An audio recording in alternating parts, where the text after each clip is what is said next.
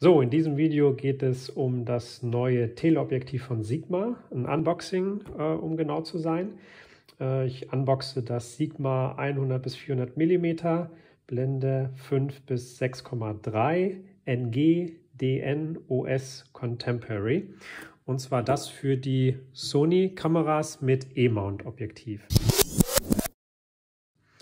Ähm, ich habe lange überlegt, ich mache besonders viel Tierfotografie, Outdoor und so. Ähm, gibt ja ein natives von äh, Sony, was so 2.000, 2.500 Euro kostet.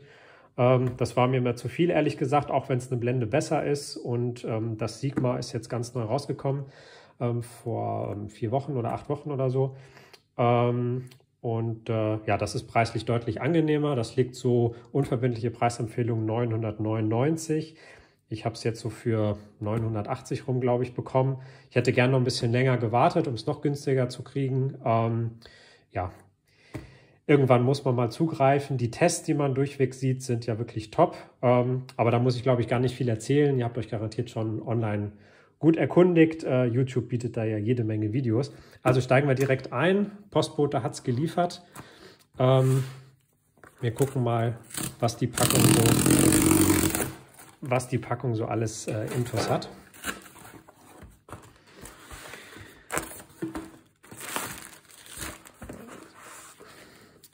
So, hier haben wir es schon mal.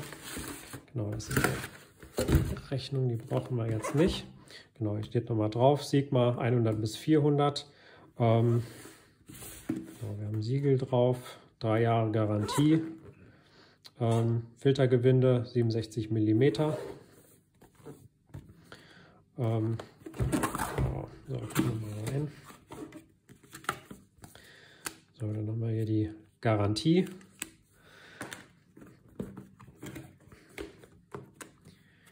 Ähm, die Betriebsanleitung. Ja, bin ich gespannt, was man da so alles äh, sehen können soll.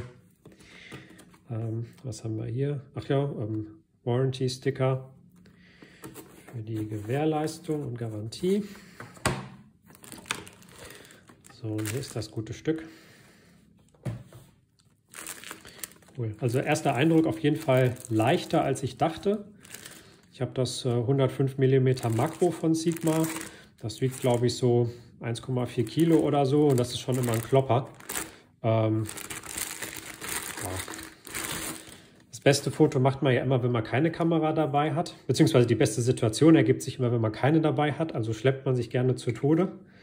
Ähm, ja, ich weiß jetzt gerade gar nicht auswendig, wie schwer das ist. Ich würde es jetzt so auf ein Kilo schätzen, vielleicht ganz gleich drüber.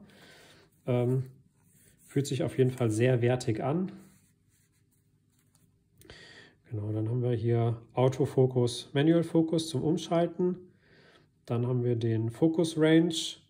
Ähm, das ist der Fokus in der Gesamtbandbreite, äh, sozusagen im gesamten Tiefenschärfenbereich, äh, ganze Brennweite fokussieren darf. Oder wir können in der Mitte hier 6 Meter bis unendlich oder Nachstellgrenze bis 6 Meter.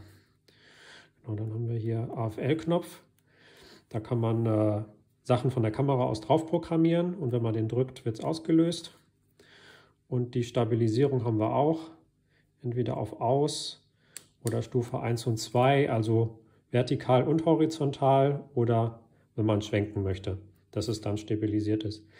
Eine ähm, Stativschelle äh, sozusagen ist nicht bei, aber hier unter dieser Gummilippe habe ich online gesehen, kann man abmachen. Da kann man die nachrüsten. Liegt, glaube ich, so bei 100, 120 Euro. Ja, muss man gucken. Wenn man noch mal was investieren will, ist, ist das wahrscheinlich gut, aber fürs Erste geht es sicherlich auch so.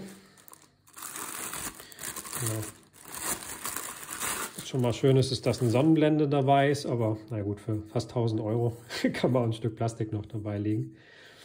Ähm, ja, das Objektiv fühlt sich wirklich super wertig an. Also ich habe wirklich das Gefühl, ich habe hier pures Glas in der Hand.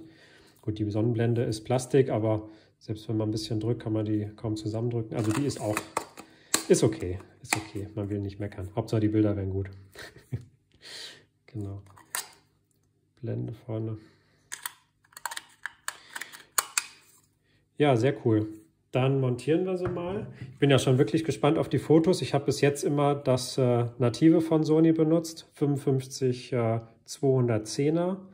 Ähm, Autofokus war auf jeden Fall mal super schnell, bin ich mit zufrieden. Aber gerade Tierfotografie, äh, wenn man ein bisschen weitere Vögel fotografieren möchte oder so, ja, da ist es manchmal etwas wenig. Ähm, von daher bin ich gespannt, was dann das jetzt hier bringt.